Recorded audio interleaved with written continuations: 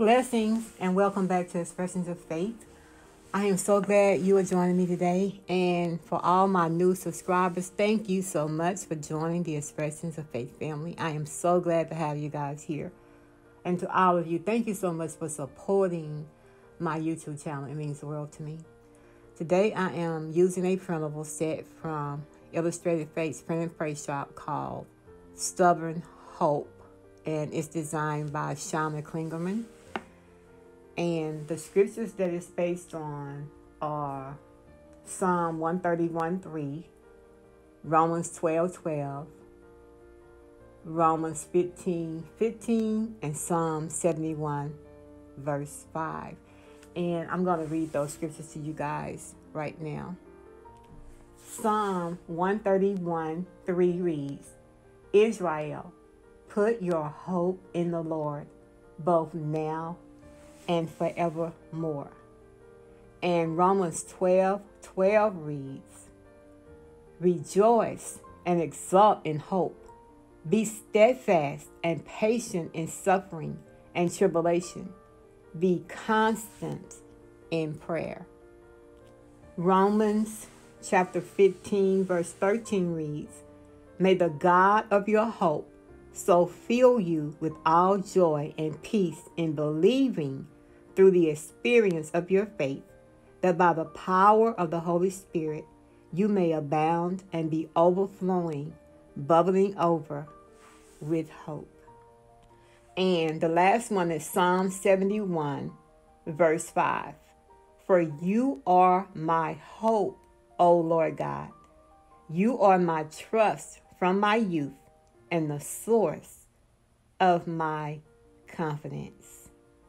Amen. Amen to God's word. I just want to hop on real quick. I have really missed you guys. I miss doing YouTube videos.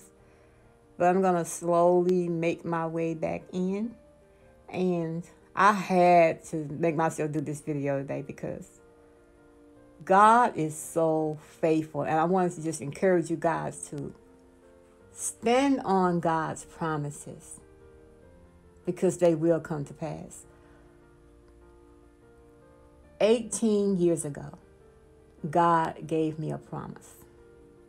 And I've been patiently, faithfully standing on that promise year after year after year after year. Never ever giving up on God because I know that the one who promised me is faithful. He is faithful, y'all. And He has fulfilled that promise that He gave me 18 years ago. He fulfilled it.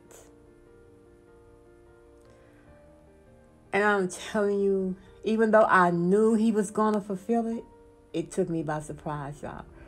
And I am so I am so overwhelmed and in awe of him and it is nothing like seeing God's word come to pass. It is nothing like it. It is nothing like it. Especially when it's something that you prayed and fasted for and prayed for and interceded for and hoped for. Stubborn hope. Because no matter what it looked like, I had that stubborn hope that wouldn't give up, that wouldn't stop waiting. And you guys, God is faithful to his word. So I want to encourage you. I don't care if it was 40 years ago that God promised you something. I don't care. Because sometimes the devil will make us think that if God prom- we, we think God spoke to us and he promised us something, whether through his written word or his spoken word, because God still speaks. Whether it's through his written word or his spoken word, the devil will try to make us think, if it don't come to pass quickly, that the word was not from God.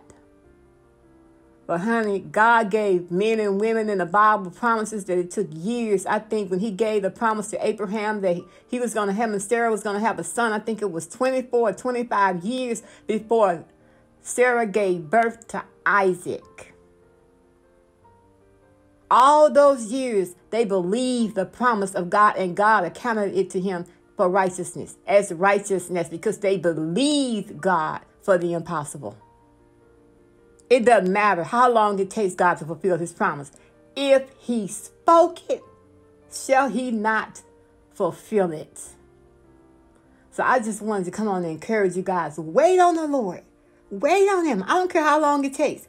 For he is not a man that he should lie, or the son of man that he shall repent. If he said it, he's going to make good on it.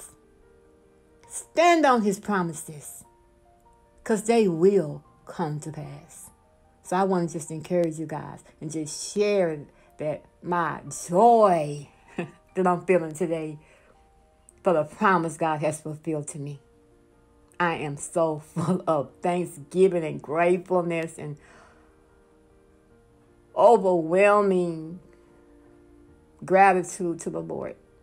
And I just wanted to share that with you guys. So thank you for watching. I really appreciate it. If this video was a blessing to you, please give it a thumbs up. Click that notification bell so you will not miss one of my videos because I don't know how when I will be uploading another one. Hopefully, it'll be a couple of days. I don't know. I, I'm feeling better.